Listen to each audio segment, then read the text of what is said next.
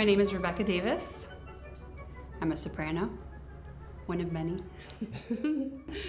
I play Violetta Valéry, and um, she's the courtesan, and um, very fun role to play. It's it's nice to have all these boys' attention in act one on stage. it's very flattering.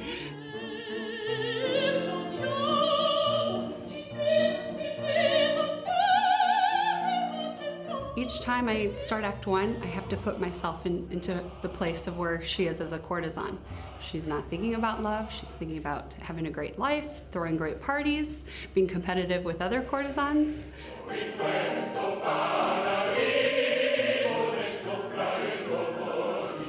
Ryan McPherson. I uh, grew up in Kansas City. Uh, now live in, in New York, in Brooklyn, and um, playing Alfredo in La Traviata. And great show. One of the dream roles for tenors.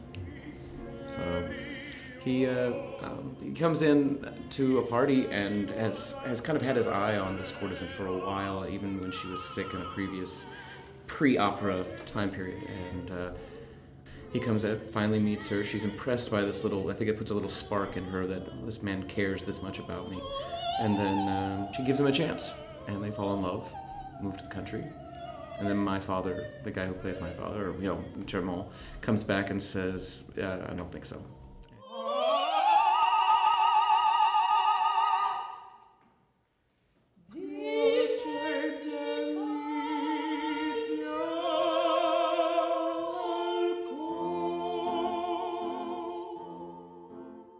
I'm the father of Alfredo. Uh, Alfredo has um, fallen in love with this courtesan Violetta. And the problem is, is that it casts aspersions on the entire family. And I have another daughter who is trying to get married, and her fiance is threatening to break off the engagement unless my son comes around. And so I have to go out and rein him in and say, come back to the family, leave this tawdry life that you've, that you've started, and um, become honorable again.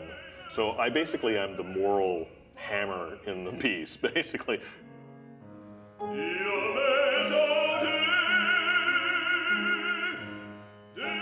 course, the whole opera she's battling with tuberculosis.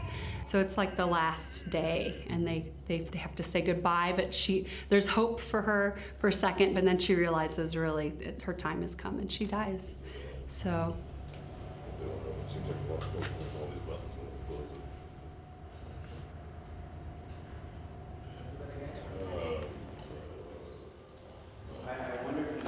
Yeah. And go. Yeah. There you go. There's probably one of it's one of the toughest arias I think in the soprano repertoire, which is E strano sempre libera, and it comes at the end of Act One. So you've already done this big party thing, and it's very energetic, and then all of a sudden you have to be, come to this reflection time and move through the reflection. But then at the end, she declares that she's always going to be a, a free person.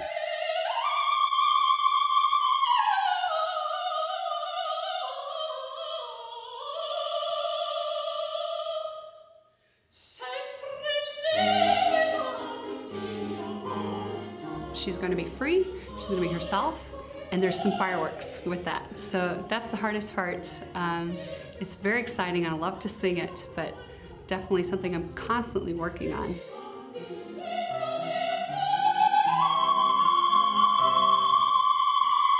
With, with good writing and, and uh, good libretto and good music comes a really great piece of music. So it's uh, the, the travel, I mean, you just have to give yourself over to the music in that sense. So you go start out, you know, innocently, you fall in love with the person you're on stage with, and then you get your, your heart torn out. You know, it's, it's a hard day's work, and at the end, it's, it's going through a full range of emotions every night.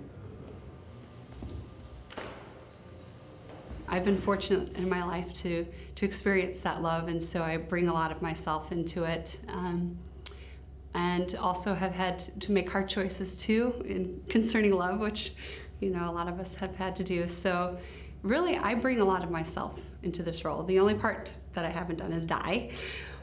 This is Traviata. I mean, you have to you have to you have to love. It. I mean, it, it it's just in, ingrained in us that I mean, and it's true because the minute you start opening your mouth and you you sing to that person, you stare at them in the eyes while they're you know dying. It um, it really affects you. You know, do do a show and end up with you know a pool of tears on on on the floor after you know when the curtain comes down and come you know take your bow.